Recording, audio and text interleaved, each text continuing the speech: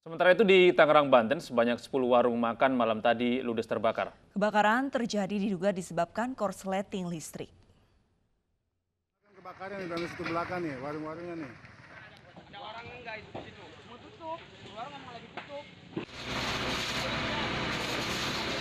Kebakaran 10 bangunan warung makan ini terjadi di Jalan Danau Kelurahan Priuk, Kota Tangerang, Banten.